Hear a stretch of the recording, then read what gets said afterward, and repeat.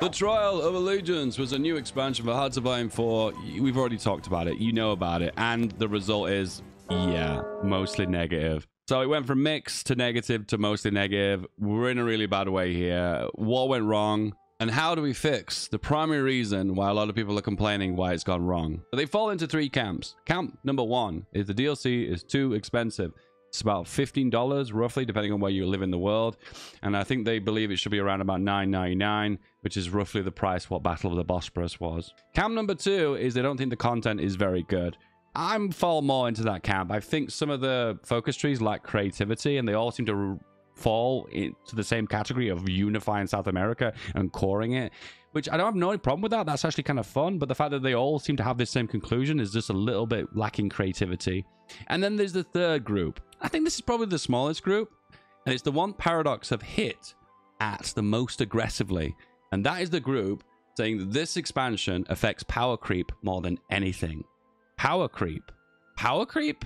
What is power creep? Power creep is a common challenge in multiplayer games, especially those that involve progression, customization, and updates. It refers to the situation where new content or features make older ones obsolete or irrelevant, creating an imbalance and loss of diversity in the game. So as an example, as Canada, one of the oldest DLCs for Hearts of Iron 4, Together for Victory, which came out in 2016, we have focuses that do this, give political power. I mean, it's not bad. However, some of the bonuses you get from the South American trees are obviously a lot better. And this one, for instance, 35 days, which gives one advisor. It doesn't assign the advisor it, he just lets you give access to them. And back in the day, some of these focuses were a lot worse, but they've actually buffed them.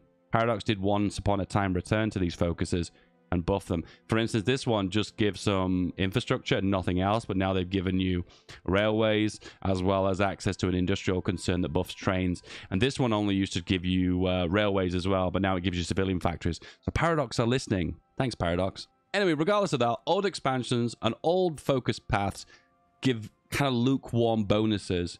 However, the newer ones tend to give really OP bonuses. An example was Argentina, the Union of National Fascista.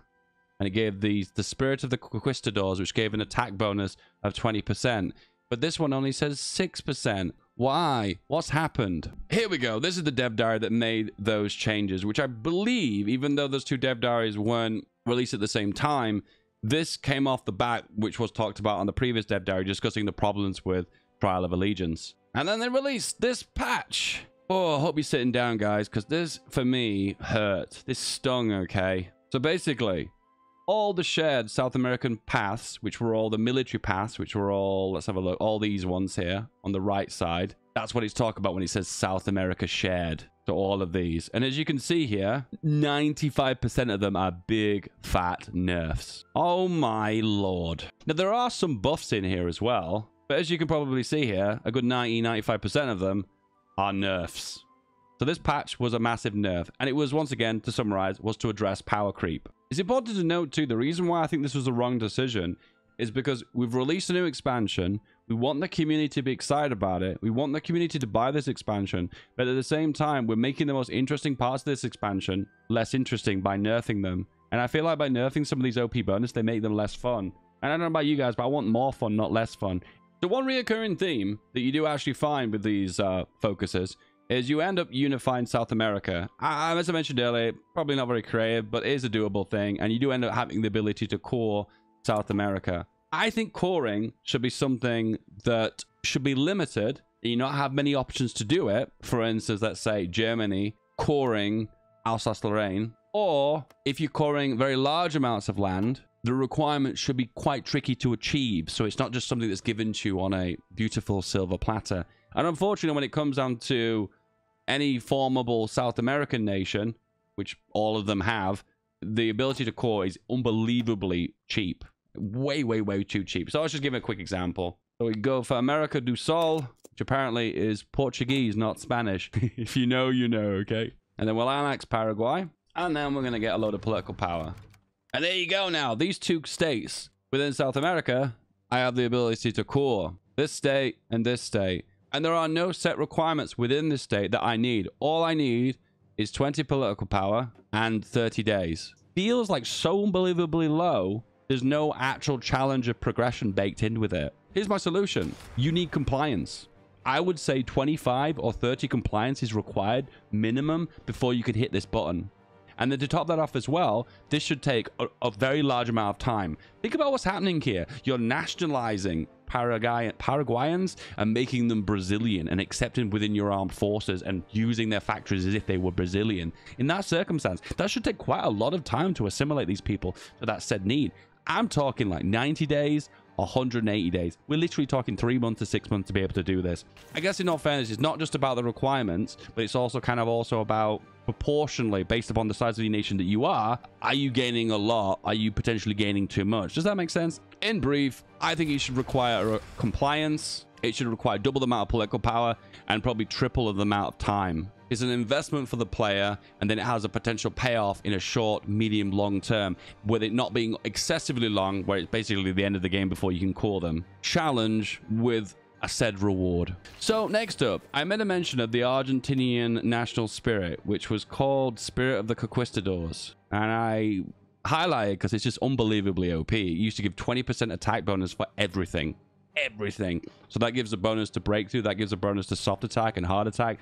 Universally gives attack a bonus, which is unbelievably high compared to everything in the game. However, to take away that bite, the sting of having to deal with just nerfing it beyond belief from 20% down to 6%, I think you should set a time requirement. So for instance, I would recommend the Spirit of the Conquistadors expire after two years. It's a reasonable amount of time. It's a very large proportion of a Hoi 4 game. It gives you an opportunity to expand within that set period. Or maybe have the ability to have it as a decision that you can press it and activate it when you want it. So when you're about to do your little rampage against the world, you can activate it and then take advantage of it for that two-year period. But when the two-year period is over, it expires and you lose all the bonuses.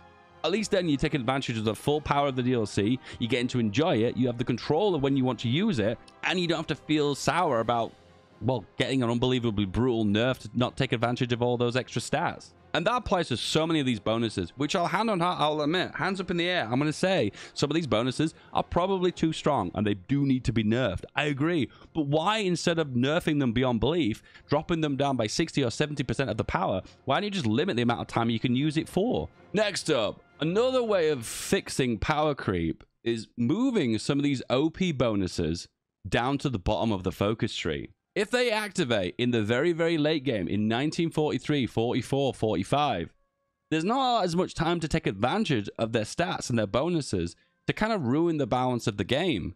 So, for instance, if the Spirit of the Conquistadors was all underneath South American unity, sure you could get it in 1941, but at least at that point, the kind of the world has stabilized a little bit and the war has started, and there's a lot of divisions, there's a lot of firepower, there's a lot of stats. And plus, I think it's very rewarding to have a focus tree to have a big bonus at the very bottom. It is like a runway. That's the way I describe focus tree. The spirit of the conquistadors was so unbelievably broken. It probably would have been better off with only still having it for two years as well. So combining that as well as the time restriction would make it feel rewarding, but not make it feel too overly OP. And there's a bunch of focuses a part of this expansion that apply to in that certain circumstance. I only zone in on the Conquistadors because obviously that's one that losing my mind. And I do think I like that one too. Got a cool name too, Conquistadors. That's sweet, right? Once again, it feels rewarding.